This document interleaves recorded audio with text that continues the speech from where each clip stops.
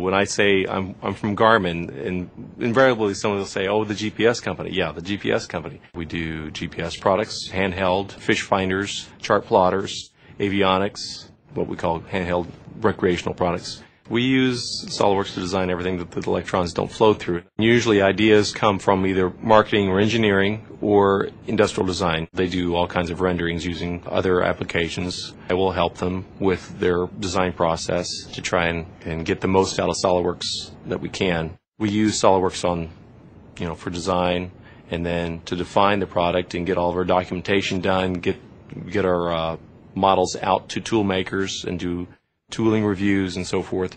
Nowadays, it's just almost assumed that a toolmaker has got to have 3D capability.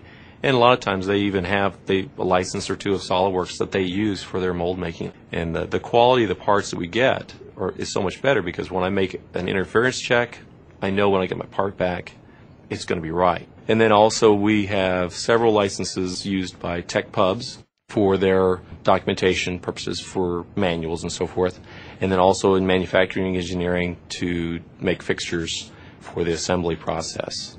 Only with SOLIDWORKS were we able to have more than one department utilize our 3D content or SOLIDWORKS data, industrial design, technical publications, manufacturing, as well as design engineering. Only with SOLIDWORKS.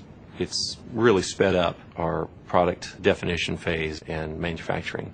It's amazing how much SOLIDWORKS has uh, an effect on, on the end result, the products, uh, the ability to create tools and create them fast, to get products done on time, and to be able to delight our customers.